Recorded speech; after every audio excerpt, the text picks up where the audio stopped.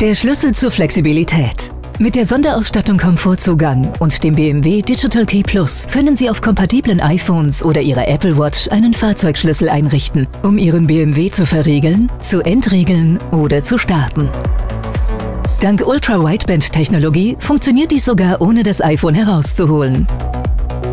Um den Hauptschlüssel für Ihren BMW einzurichten, benötigen Sie eine BMW-ID mit einem verknüpften Fahrzeug.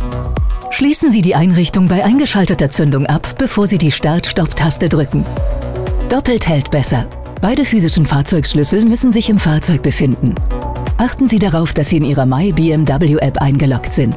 Wählen Sie in der Fahrzeugansicht BMW Digital Key Plus und tippen Sie auf BMW Digital Key Plus einrichten. Bestätigen und weiter geht's.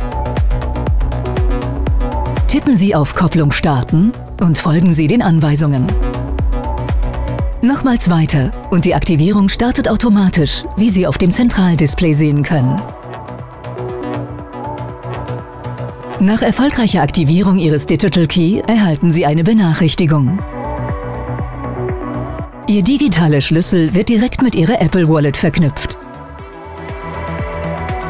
So können Sie ihn mit anderen teilen oder Ihre Apple Watch hinzufügen. Alternativ lässt sich der Digital Key auch über den Link in der Aktivierungs-E-Mail einrichten.